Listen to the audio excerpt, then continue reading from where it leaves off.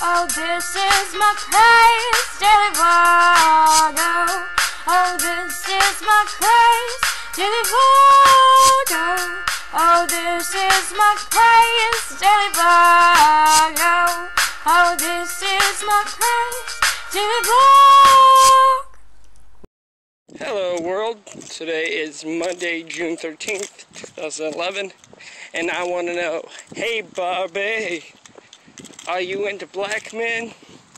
No, I'm just kidding, but seriously, um, right now as you can see I'm walking, there's a road behind me obviously, but um, yeah, I'm actually going to uh, see the movie Super 8 right now. It starts at 8 it's like 6.40 right now. I'm going to get my ticket a little bit early. I got up here a little bit quicker than I wanted to. That was going to take me a little bit longer, but that's okay. I can go somewhere and uh, I could probably go to McDonald's, use their Wi-Fi, and then upload this right to YouTube maybe. I don't know. I might do that, I might not. I don't know. But, uh, Oh no, I'll have to edit it or the video will be completely sideways because I'm actually supposed to hold like this. But I like doing that. I like holding like this.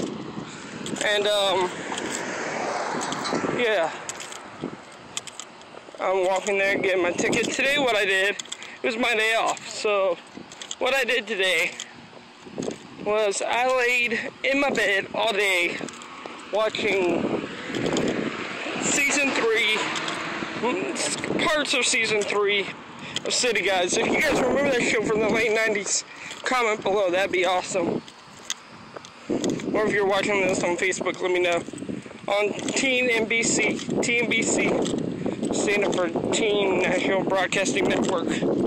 Or company, actually, not network. But, um,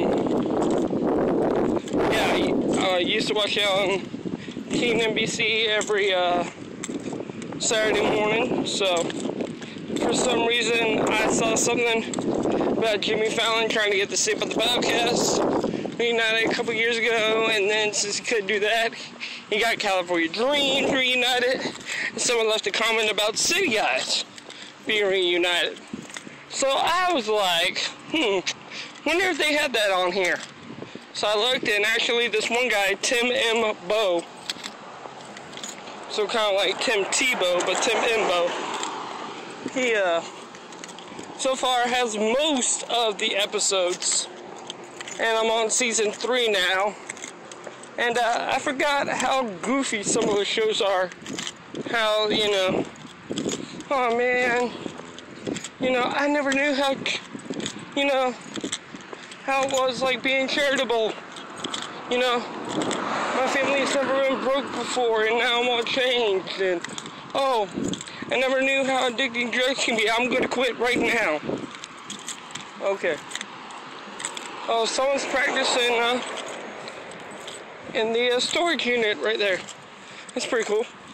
Can hear the music. I don't know if you guys can, but uh, now besides that, uh, happy birthday, Olsen Twins. Y'all are also 25. And if you know me, I used to have a crush on the Olsen twins from like the time I was 7 to like the time I was 15 because, well, I was the same age. I'm actually two days older and they were kind of hot up until they became little anorexic uh,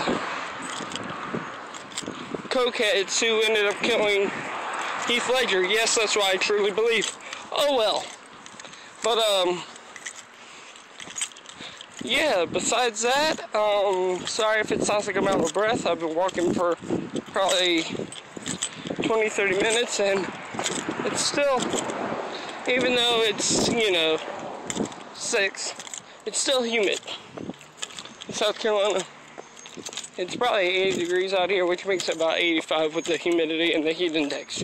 So yeah, and I'm wearing my black Gamecock shirt. Oh, and here's a little tidbit of information for you guys. I actually found um, one of Brooks' socks in my uh, luggage today when I was cleaning that out. So yeah, but besides that, thank you. Have a great day, and I'll see you guys tomorrow.